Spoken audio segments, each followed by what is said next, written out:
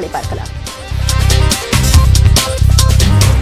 தமிழ்நாடு உள்ளிட்ட எந்த மாநிலத்தையும் இரண்டாக பிரிக்கும் திட்டம் இல்லை கொங்கு நாடு சர்ச்சைக்கு முற்றுப்புள்ளி வைத்தது மத்திய அரசு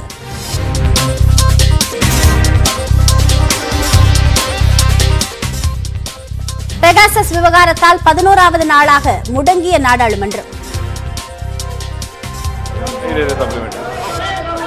what to do and what not to do. Parliament Affairs Minister. அவையையும் மக்களையும் எதிர்க்கட்சிகள் அவமதிப்பதாக பிரதமர் குற்றச்சாட்டு.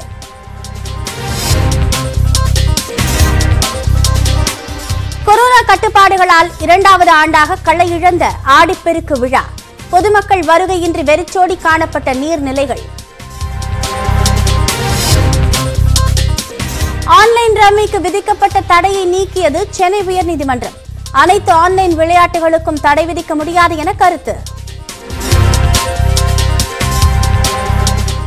கொரோனா பாதிப்பு அதிகரித்தால் மேலும் கட்டுப்பாடுகள் விதிக்கப்படும். மருத்துவத்துறை அமைச்சர் மா. சுப்பிரமணியன் நியூஸ் எயிட்டின் தமிழ்நாட்டுக்கு பிரத்யேக பேட்டி.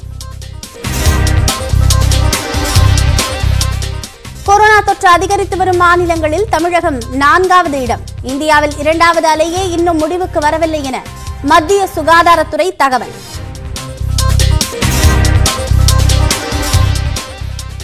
சீனாவின் வூஹான் நகரில் ஓராண்டுக்கு பிறகு மீண்டும் பரவும் கொரோனா வைரஸ்.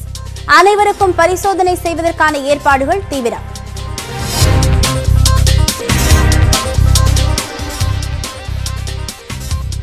டோக்கியோ ஒலிம்பிக்கில் வெண்கலம் வென்ற பேட்மிண்டன் வீராங்கனை பி வி சிந்து நாடு திரும்பினார். டெல்லி விமான நிலையத்தில் மேளதாளங்கள் முழங்க உற்சாக வரவேற்பு. கொங்கு நாடு என்ற தனி மாநிலம் உருவாக்க